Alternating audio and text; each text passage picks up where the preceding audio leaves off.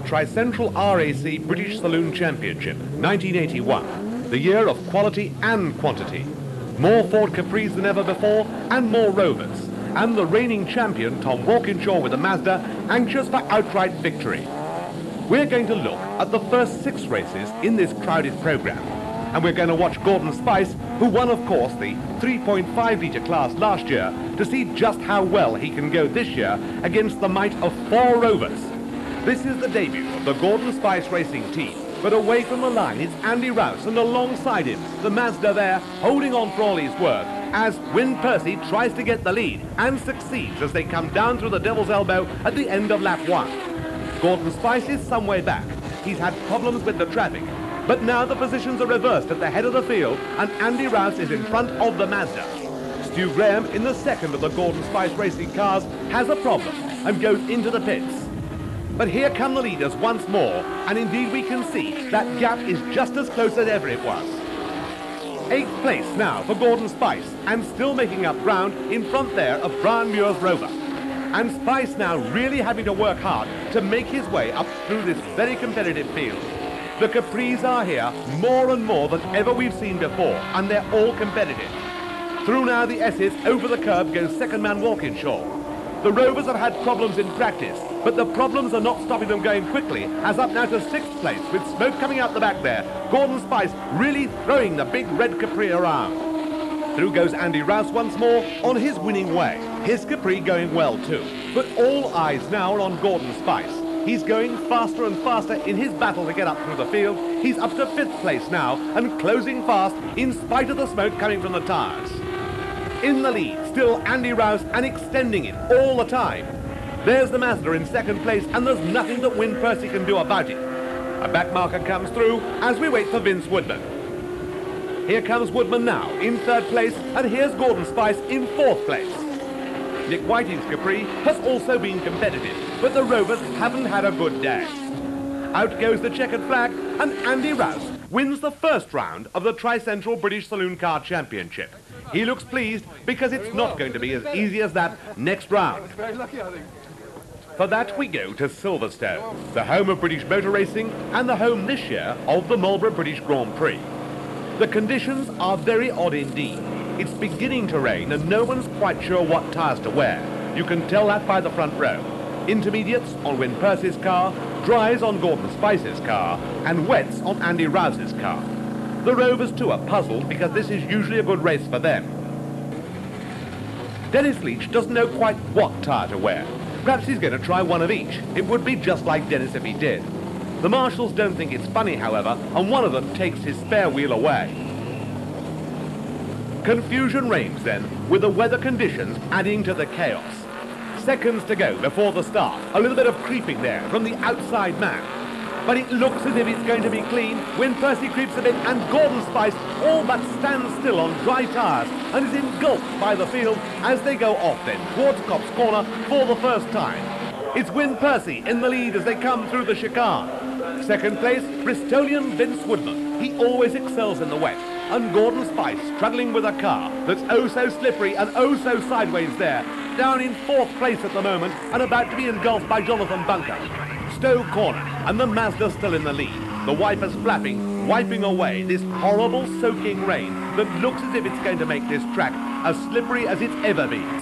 Stuart Graham has a real handful there as he goes through and gets very sideways, but Spice on the dry tyres, trying to find a little bit of dry track. Once again, Win Percy with the Mazda, still holding off Vince Woodman, but now with the threatening form of Andy Rouse closing. Gordon Spice coping manfully with the conditions on dry tyres. Other drivers, however, are having problems, are coming together between Chris Hodgetts and the second of the Spice cars there in Stu Graham's hands results in Graham coming to the pits. That gap between the leading Mazda and the second place Capri is closing. Equally, Andy Rouse hasn't given up as Hodgetts spins, goes off into the catch fencing and can't get out of the car because he's trapped by it. He's stuck in the mud as well. Spice now is making some impression. The track is drying slightly, and as far as he's concerned, it's just what the doctor ordered. Under the Shell Super Oil Bridge, as in comes now one of the Rovers. A problem there with a flat front tyre. The gap now between the leading pair is closer and closer. Woodman cocks a wheel over the curb and gets within two cars' length now. And down towards Stowe comes a gaggle of cars. In the middle of it, David DaCosta spins and is just missed by another car there as he collects it together without taking any of the fence posts. Shall we give him a stick of rock? That's what he makes at home. Just let's see that again. DaCosta, an absolutely phenomenal avoidance. Back now to the race, and that gap closing all the time as Woodman tries and tries to get closer to that Mazda. It's tantalizing to have the 2.3 litre rotary car up there ahead, but not for much longer, because into the pits goes the rotary car when Percy's race is run. Now then, the lead is all Capri's, and there we see the teammate of Gordon Spice last year, Andy Rouse, about to make his bid. The drama isn't over yet. Rouse may have succeeded, Woodman's tucked in behind, but there's that threatening Capri coming up, and it's Gordon Spice. The dry tyre gamble is beginning to pay off. He's right on Woodman's tail. Can he catch the leader? It's third place at the moment, and he hurls the car out of the chicane. You can see that the track is still wet. There's still spray coming up, but Spice is into second place and is doing all he knows now to close on the leader. Lap after lap, that gap is closing. And now we come to the closing laps of the race as they come down towards Stowe Corner, and we can see that Rouse still now has a slight advantage, but it's being eked away. Up towards Woodcote and the chicane once more, and they're still close together. Headlights ablaze to warn slower cars. Out goes the checkered flag. Andy Rouse wins, and a very sideways Gordon Spice manages second place. A superb drive.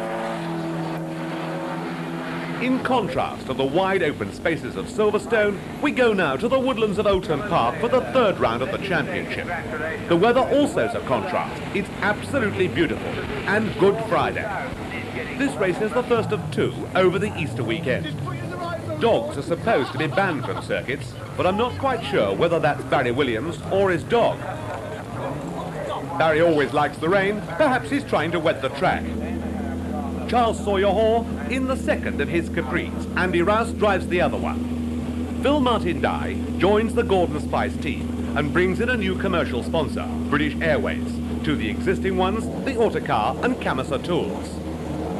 Dye has had a long career in clubman's racing and hopes that saloons are going to take him to the top. Gordon looks happy, he should do. He's on the front row of the grid. Flanked on the one side by the fastest man in practice, the Mazda of Win Percy, and on his left by last year's teammate Andy Rouse. These two had some tremendous duels last year. Will it happen again? I think he's being rude to the cameraman at the moment. That certainly means he has to be relaxed. Gordon Spice racing cars are immaculately prepared as they wait at the start.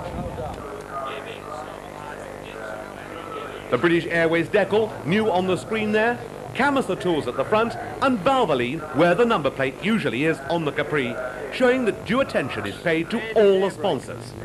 Is this a newspaper battle? The Daily Mirror versus the Autocar? Only time will tell. All engines started, and seconds tick away before the red light comes on, and then the green. No one creeping at the moment, but excitement mounting in this very packed field. The race run in two parts, and this is all the big cars at the front there. The little ones have a race all of their own. Oulton Park should suit the Mazda. The crowd have come to see a race, and they've come in their thousands. A late comer to the grid, and the seconds tick away. Moments now before the start, a little bit of creeping, and a tremendous start then by Andy Rouse, but it's of no avail because on the inside, there's no doubt about it, the Mazda of Win Percy has staked its claim to the front and holds that lead now as they go round Old Hall for the first time.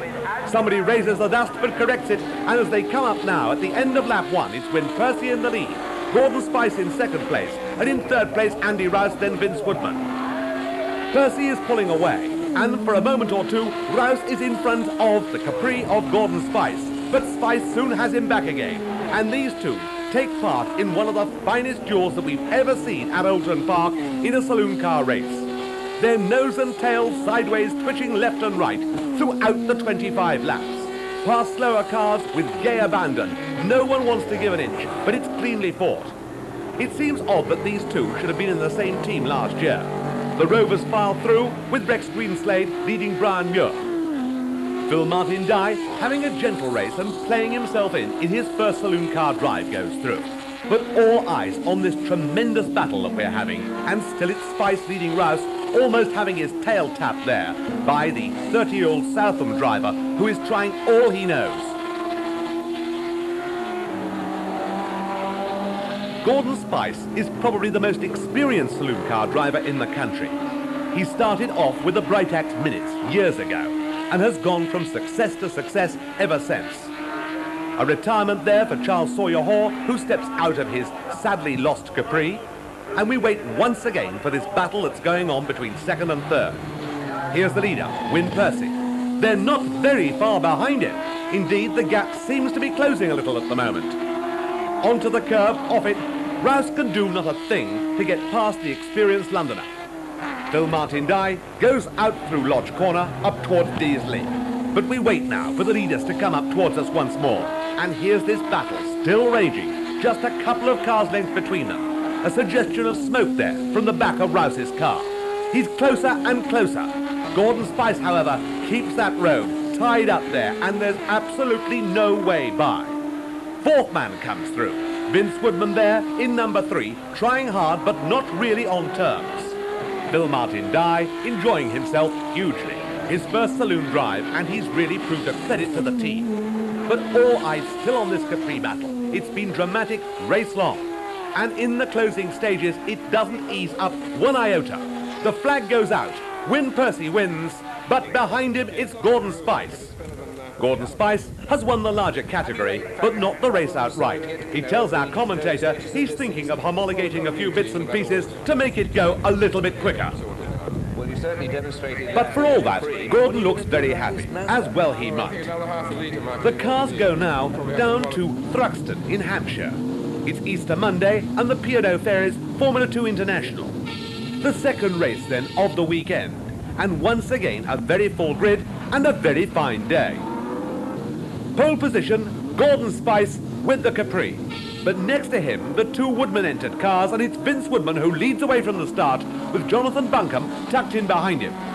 Spice was slow away and is engulfed by other cars as they go round now towards the complex. Into Campbell, Cobb and Segrave, it's two Capris in the lead and the Mazda there squeezing past Spice.